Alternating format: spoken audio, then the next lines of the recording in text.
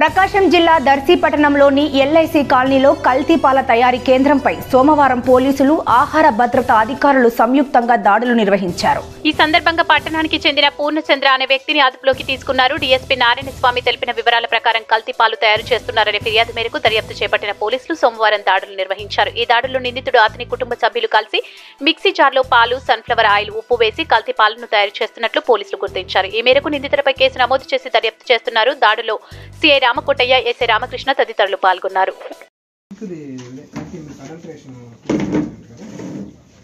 ఎలా చేశారు?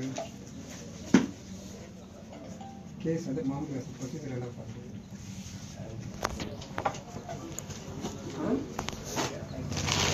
కేసు కట్టదు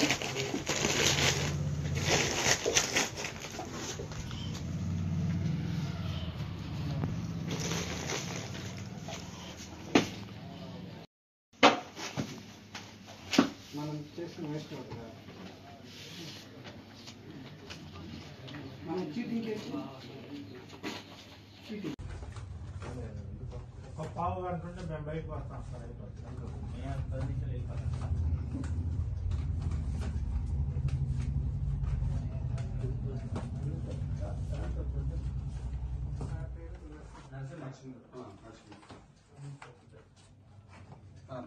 దర్శన గారా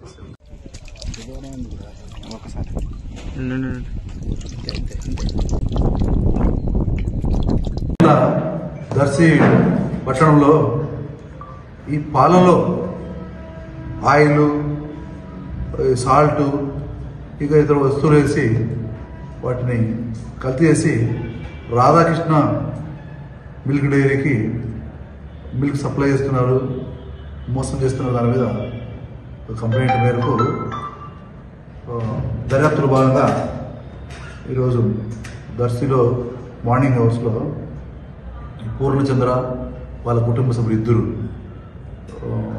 వెరిఫై చేయగా అక్కడ ఇంట్లో ఓ మిక్సీ జార్లో కొన్ని పాలు వేసి దాంట్లోకి సన్ఫ్లవర్ ఆయిల్ కొంత సాల్ట్ వేసి ఇంకా ఇతర దీంట్లో కల్తీ పాలు తయారు చేసి దీంట్లో చేస్తున్న సమాచారం మీద ఈరోజు మా ఎస్ఐ సిఐ ప్లస్ మన ఫుడ్ ఇన్స్పెక్టర్ వాళ్ళు అందరూ ఇంట్లో ఒక శాంపుల్ కలెక్ట్ చేశారు చూస్తే వాళ్ళు ఇల్లీగల్గా చేస్తున్నట్టు ఉంది.